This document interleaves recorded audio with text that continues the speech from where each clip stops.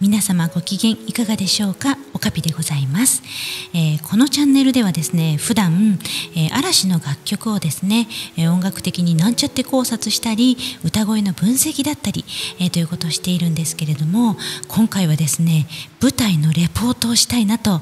思います。そう、え相葉雅紀さんの主演舞台「ようこそ湊先生」のレポートでございます。えー、7月の3日ですね、えー、舞台「ようこそ湊先生」の応戦集落。もう本当におめでとうございます、えー、全27公演。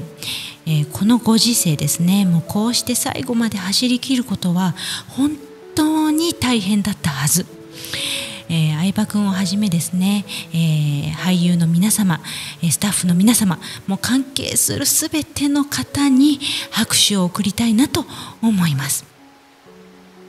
えー、私もですね、えー、その前日ですね、えー、無事に見に行くことができましたので、えここでレポートしたいなと思います。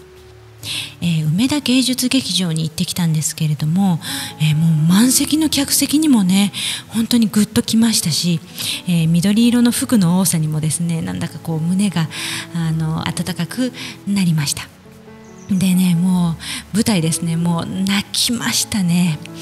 えー、私はですねこうミュージカルやねオペラというものは山ほど見てきているんですけれどもお芝居の舞台というのは小学生以来2度目でですね、えー、生の舞台がこんなに熱いものだったとは、えー、本当にびっくりしました。えー、3階席だったので、えー、表情の細かいところまでは見えなかったんですけれども、えー、それでもねこう声で息遣いで、え体の動きで、え表情が見えなくても伝わってくる、え登場人物たちの心の機微というんですかね。えー、ストリングスやピアノによる BGM も寄り添ってくれてですね、えー、もうお話にどっぷり入り込みまして終わった後ももうぐるぐるぐるぐる、えー、湊先生や日永町の人たちのことをですね、えー、考え続けております。え、どの登場人物についても、こういう人だったとかこう考えていたって一言では言い表せなくて、えー、一面だけではないいろんなね捉え方ができてもうそれがものすごくリアルだなと、感じました。えそしてですねパンフレットにある演出の宮田恵子さんのインタビューにですね光を求める時代の願いを描く物語としてとあるんですけれども、えー、湊先生が最初に登場したシーン、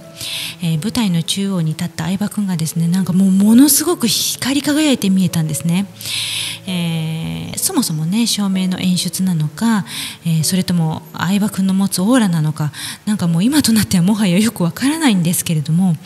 えー、でもねその時、え相葉君はきっとこう「ようこそ湊先生」という物語もそれだけじゃなくても会場に来た来ているお客さんの物語もなんかもう全部背負ってくれてるような気がして何て言うんですかもう本当に神々しかったんですね。えー、この舞台を見ることができても本当に良かったです。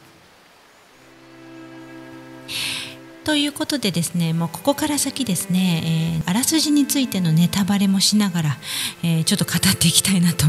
思うんですけれども、えー、物語の前半ではですねこ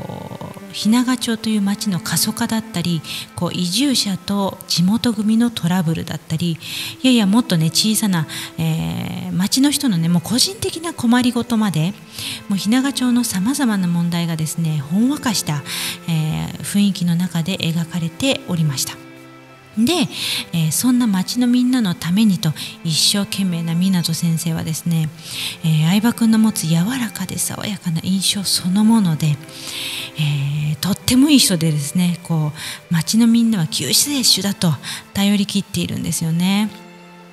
えー、そんな湊先生の登場シーンはですね「でんでんむしむしかたつむり」と歌いながらね、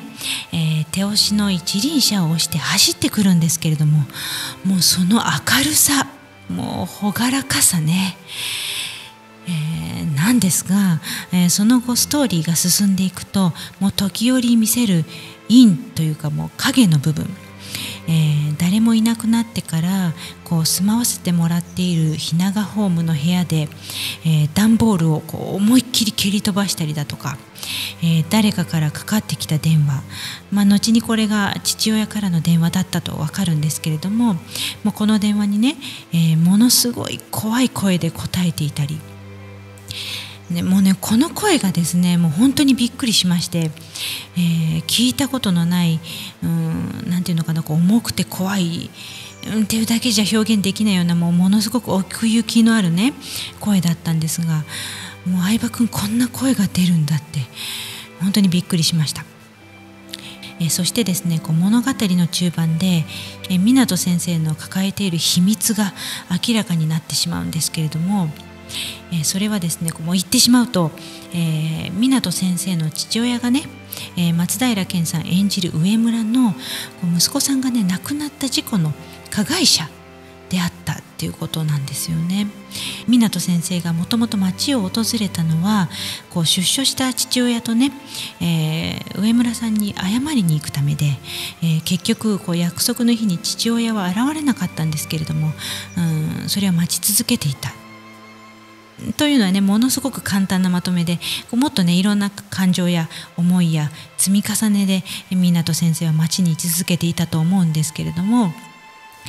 えー、このね秘密が明らかになってしまった後、えー、嘘をついていたと町の人からも言われて苦悩する湊先生。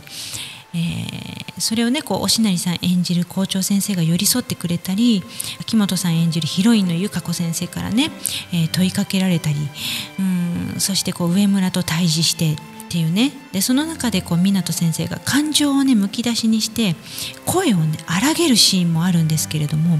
もうこれがねもうめちゃくちゃ辛いんですよね。もうとっても辛いシーンなんですけれどもそれがねもうものすごく魅力的でした、えー、葛藤して苦悩する。長台詞の中に込められた説明できないようないろいろな感情。いやですねこうセリフだけじゃないですね。もうあの時そこにいた湊先生のうんその存在全てにものすごくいろいろな感情が渦巻いていたと思うんですけれども。うんこのね陰の部分影の部分こそが、えー、今回の相葉君の魅力だったのかなと思います。そしてねファンの一人としてはですねもうあの声を荒げた時のねあの迫力のあるお声でもう突き刺してほしいなと 思うほどで、ございました。えー、物語の結末はですねこう円盤がね発売されることを願って、えー、ここで詳しくは話しませんけれどももうね私の言葉なんかではなくてももう本当に見てほしいので何とぞと思っておるのですが、えー、とにかくねもう秘密が明らかになった後の後半はね、